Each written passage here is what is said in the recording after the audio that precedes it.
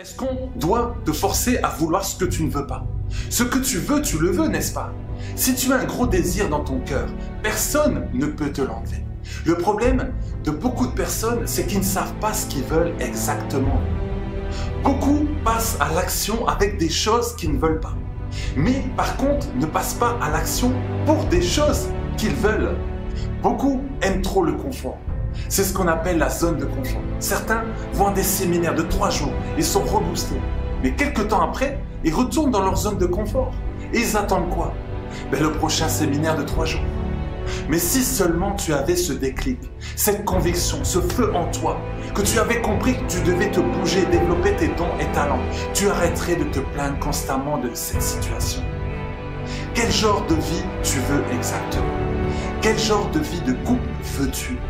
Comment vois-tu la femme de tes rêves, le mari de tes rêves, tes enfants Comment tu les vois? Comment vois-tu ta santé? Quels sont tes besoins fondamentaux? Quelles sont tes valeurs? Qu'est-ce qui est important pour toi?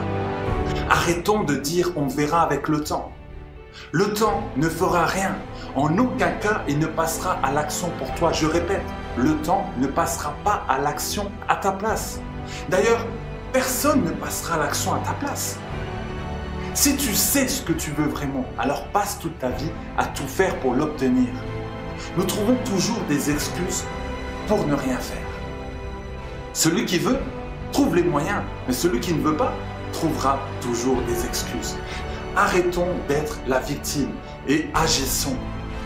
Le passé est passé. As-tu décidé de te battre, de travailler dur pour y arriver, de payer le prix? Deviens un gagnant et non un perdant. C'est l'heure du réveil. C'est l'heure du réveil.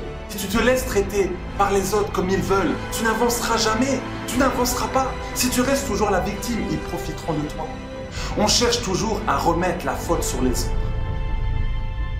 Mais la seule personne qui peut t'empêcher de réussir, c'est toi.